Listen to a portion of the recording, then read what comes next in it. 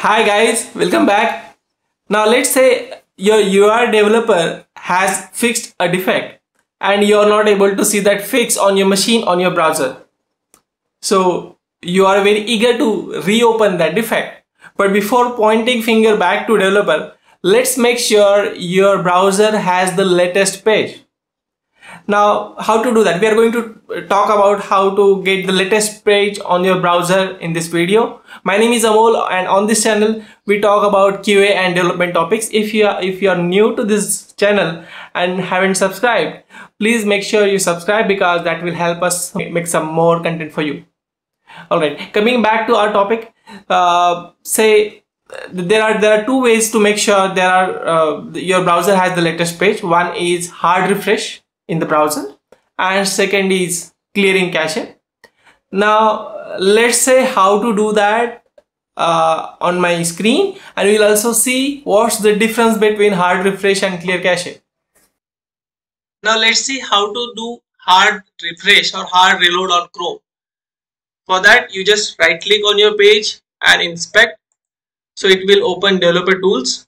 Once this window is open you can just right click on the refresh button and say hard reload.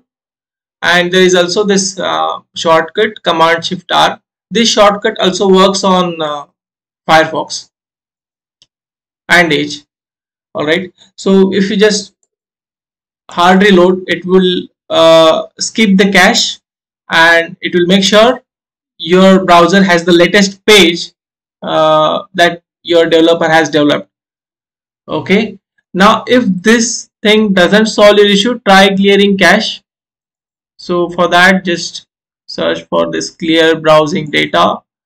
And uh, ideally clearing cached image and files this should solve your issue but it if it doesn't clear select all and select all time and say clear data it should help. So let's see how to uh, reload hard reload on uh, uh, firefox now so on Firefox, I could not find this uh, option from UI, but uh, definitely you can try Control Shift R on if you're on Windows and Command Shift R if you're on Mac. Okay, and for clearing cache on uh, Firefox, just uh, click on this uh, hamburger icon and go to settings and type cache here okay you'll see this option clear data and then you just clear it. Okay now let's open uh, edge. If you inspect open developer tools and then right click on the refresh button there is a option similar to chrome. So this should work. And for clearing uh, the cache uh, you just find setting option here. And there should be some option to search here. Let's try to search.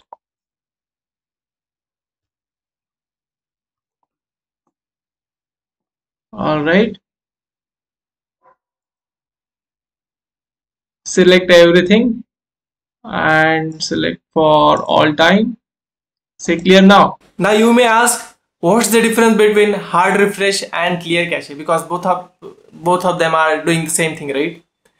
Basically when you clear a cache uh, if you are logged into the amazon or using your browser all the temporary files in the cache will be deleted. Now if you have logged into the amazon uh, your login is gone and you after clearing cache you will have to log in back. But if you do hard refresh your browser will skip the cache and it will make sure you get the latest page uh, of your application. In that case after hard refresh your login to amazon will will still be there. You won't have to log in back.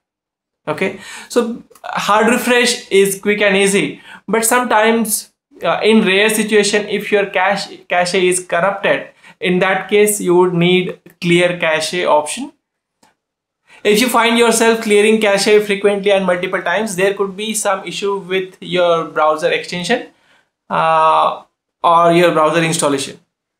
Alright, that's it for the day. thank you for watching and uh, if you have not subscribed please consider subscribing it because that will help us make some more videos for you and hit that like button thank you so much bye